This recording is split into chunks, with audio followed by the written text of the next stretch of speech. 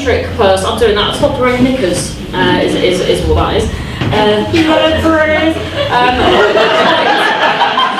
quite an eccentric person. is there a problem? Is that like? Is that? Is it? Am I inside? Is, is this happening? Am I a hologram? Is it? um, don't do drugs. I say is the moral story.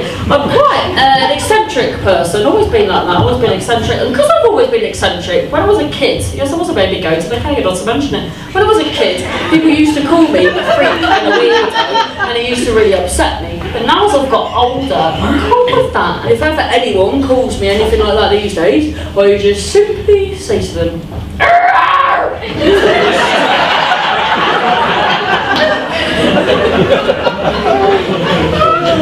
if in doubt, get your velociraptor out.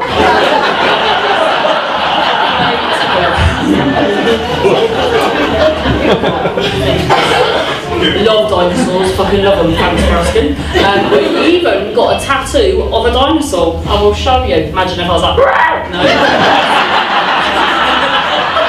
That's the big finale.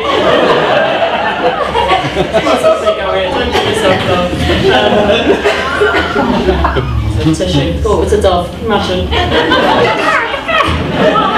um, there's an old tattoo. Imagine being in my head for 10 minutes, really stressful. and uh, do you remember that advert you used to go, uh, Red Taylor? Was first store? They go on beef, and fish fingers, baths on baths on grill and bacon fry the meat, Red Taylor. Why was there waffly first store? Like that, on a loop in my head since 1996.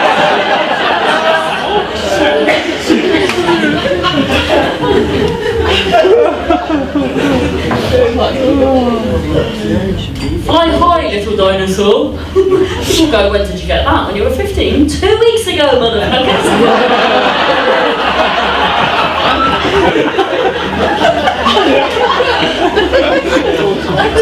the other week, why does it not say fly high, little pterodactyl? Mm, can't spell it.